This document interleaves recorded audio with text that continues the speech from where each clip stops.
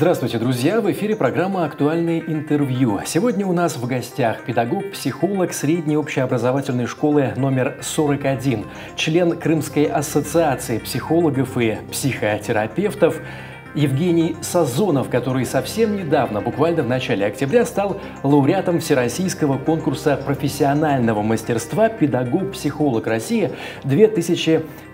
Евгений, здравствуйте. Здравствуйте. Во-первых, мы поздравляем вас с этой значимой победой. Немного расскажите вначале о самом конкурсе. Впервые ли вы принимали участие в конкурсе подобного уровня? Впервые для меня само это участие, уж тем более то, что я стал лауреатом, стало неожиданностью, потому что я работаю в школе всего лишь э, два с половиной года, вот, и для меня это очень быстрый какой-то скачок произошел. А сам конкурс, э, он проводился на территории всей России, а был региональный этап, где я стал представителям от Севастополя лучшим. А, более 10, 10, 10 психологов принимали участие в этом году. А, и э, из всех регионов России эти лучшие э, потом соревновались в тяжелой борьбе за победу, и я стал лауреатом. В каком именно формате проходил конкурс? Это был, был онлайн-формат, и сколько всего было участников, сколько у вас было конкурентов среди психологов России? Региональный этап мы застали еще до карантина, прям впритык, вот, и он был в очном формате. А, к сожалению, а, федеральный этап, он проводился дистанционно, это, конечно, а, немножко уменьшило то, что могло бы там быть, да, то есть цель этого конкурса — это еще и знакомство выдающихся профессионалов, обмен опытом, людей из разных регионов, но, тем не менее, в дистанционном формате мы тоже смогли познакомиться. Это количество участников участников было, по-моему, 65 из разных регионов России а, и 15 э, лауреатов, э, которые были признаны лучшими. Расскажите о той работе, которую вы представляли на конкурсе. Ваша презентация, как известно, стала лучшей среди презентаций финалистов-участников. Какую вы выбрали стратегию развития в профессиональном становлении и на что э, делали упор вот в этой своей самопрезентации? Да, ну, э, наверное, здесь сказался опыт того, что еще в студенческие годы я делал маленькие видеоролики э, для своего курса, э, посвященные нашему университету. Я оканчивал Крымский федеральный университет Вернадского по направлению психологии. А, и вот как-то с душой подошел к созданию этого ролика, захотел передать ну, какие-то эмоциональные моменты, которые есть в моей работе, а, вот. И, наверное, искренность — это то, что очень важное качество для психолога. Мне кажется, именно это оценили организаторы конкурса и признали мою презентацию лучшей. Вы сказали о наиболее важных, наиболее трогательных моментах в вашей работе. А, какие это моменты в работе школьного психолога? Что вы можете об этом сказать, что вы можете отметить, уже исходя из своего опыта, потому что за два с лишним года практика, я думаю, накопилась в определенном объеме. Практика работы со школьниками, с детьми. В работе приходится сталкиваться с очень разными ситуациями. Э, некоторые из них позитивные, наполняют тебя энергией, желанием работать. А некоторые совершенно тебя дестабилизируют и очень трудные. А, у меня был случай, когда э, просто это была первая неделя моей работы в школе, и ко мне в кабинет зашла девочка с окровавленными руками. Это было шоково для меня, это было не то, к чему я был готов, не то, что я планировал увидеть в школе. Вот. И оказалось, что теория и практика очень сильно расходятся. А вот. И школа — это не только работа школьного психолога, не только тесты, не только какие-нибудь э, проверки, документы. Это еще реальные ситуации, с которыми обращаются дети. Они бывают очень сложны. А, те дети, которые ко мне приходят, а, они обычно ходят после этого продолжительное время. Вот, мы становимся друзьями в некотором смысле с ними. Да, мы много проводим время в общении. А, это и курс психологии, который я преподаю в 10 классе. Это и просто те дети, которые приходят со своими проблемами. И э, мы становимся как бы близки эмоционально.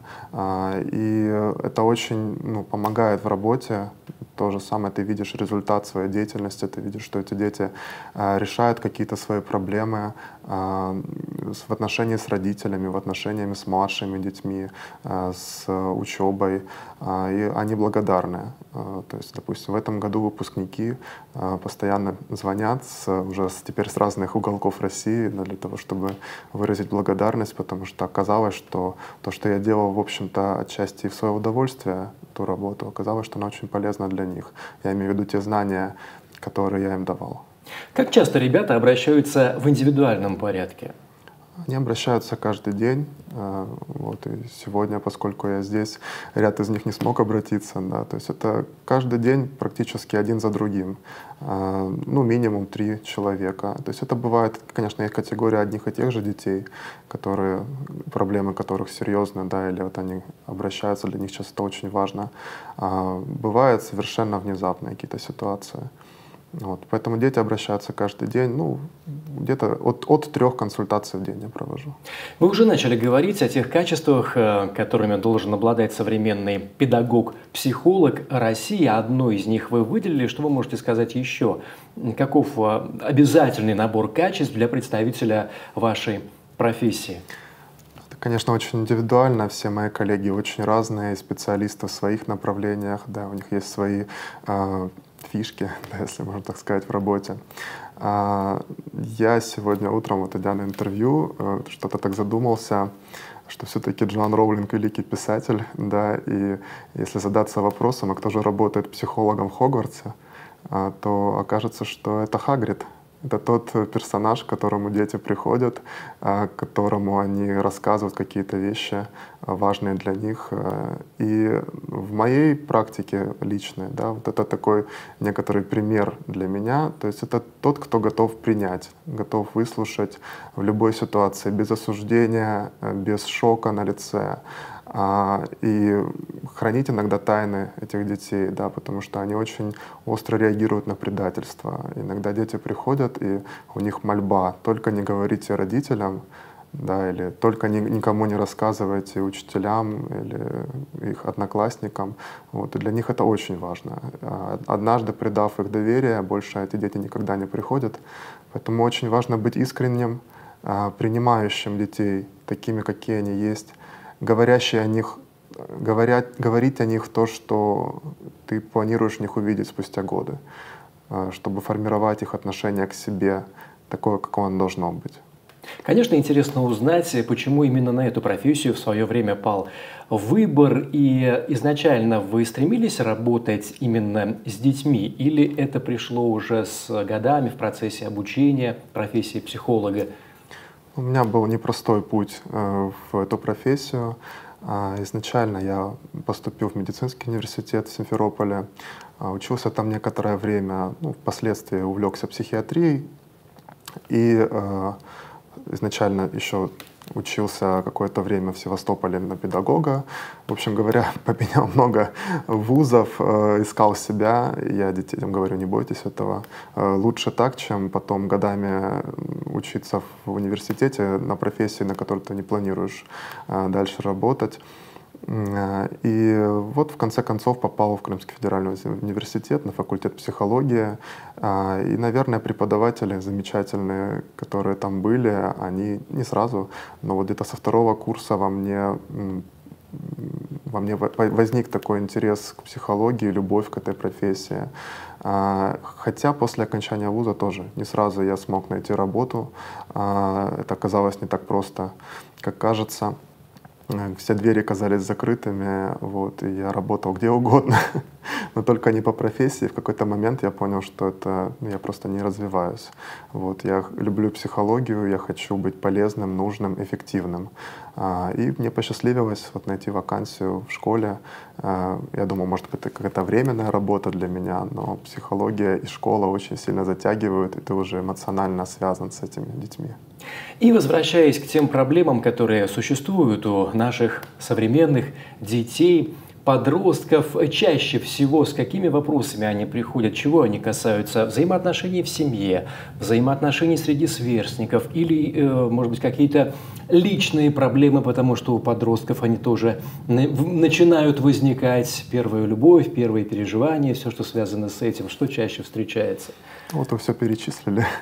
А, дети обращаются с очень разными ситуациями. А, если мы говорим о подростках, а больше, конечно, обращаются подростки, все-таки маленькие дети, обычно мы за ручку их приводим в кабинет.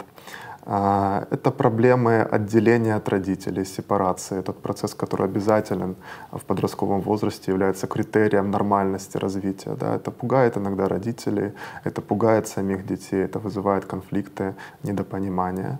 А, драмы в подростковой влюбленности, в их отношениях, а, ранняя половая жизнь, а, вредные привычки, которые для детей также страшны, они пугают их, они обращаются с просьбой помочь им, проконсультировать. А, суицидальное поведение, все мотивы самоповреждающего поведения, порезы, пищевые расстройства, то, что обостряется в кризисные периоды жизни, в том числе и в периоды сдачи экзаменов. А, дети, которые имеют э, неврологические или психиатрические заболевания, им особенно трудно учиться в школе. Да, для них нужна особая поддержка школьного психолога.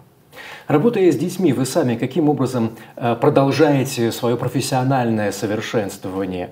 Остается ли на это время, потому что работа вы еще и преподаете э, психологию, остается ли время на то, чтобы проходить какие-то курсы повышения квалификации, просто читать новую литературу, которая появляется в этой области? Хочется ответить односложно. Нет, времени нет ни самосовершенствоваться, ни посмотреть со стороны на себя. А, и, конечно, такой маленький мой лайфхак, да, я, собственно, начал преподавать психологию. Сейчас это уже ну, как бы обязательный предмет в 10 классе, не все приходят. А, именно с целью повторения знаний и научения чему-то новому. У меня всегда есть заготовленная тема по плану, но я предоставляю им возможность, говорю, спрашивайте, какая тема, допустим, сегодня вы хотите, чтобы а, я осветил. Последний раз они спросили, мы хотим узнать, как не поддаваться влиянию. Да, вот у нас была тема о влиянии. Я начал вспоминать все то, что, чему меня учили в процессе э, достраивать недостающие знания, какую-то картинку. Они очень на многое наталкивают. Вот это такой элемент э, саморазвития. И сейчас я учусь э, по программе «Учитель истории обществознания». Буду, а, учусь-то я докончу в мае, а преподавать я уже должен с ноября. Вот, поэтому времени не хватает и приходится заниматься очень многим.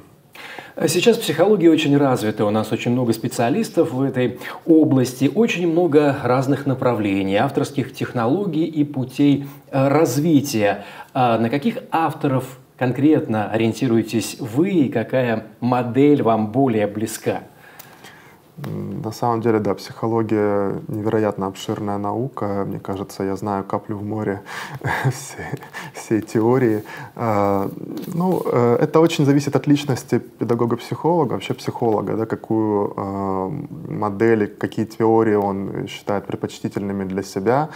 Э, мне очень понравилось высказывание э, Виктора Франкла, э, такой вот был психолог гуманистического направления, которого однажды спросили, как вы считаете, какое направление психологии самое лучшее? Он сказал, что это ерунда, такой задавать вопрос, потому что это то же самое, что спросить, какой ход в шахматах самый лучший.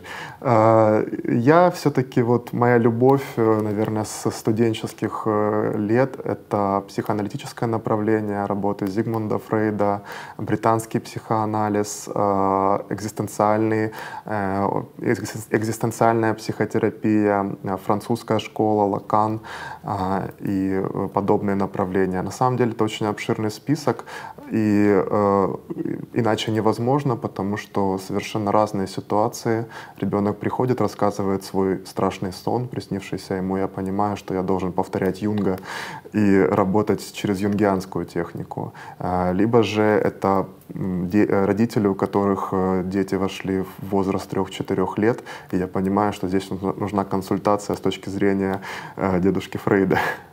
Все по-разному. Евгений, я благодарю вас за беседу и желаю вам новых успехов и удачи в вашей деятельности, крайне необходимой, особенно в наше время. А зрителям напомню, что сегодня гостем нашей студии был педагог, психолог средней общеобразовательной школы номер 41, член Крымской ассоциации психологов и психотерапевтов, лауреат Всероссийского конкурса профессионального мастерства «Педагог-психолог России-2020» Евгений Петрович Сазонов. Мы благодарим вас за внимание. Всего доброго, до новых встреч в эфире.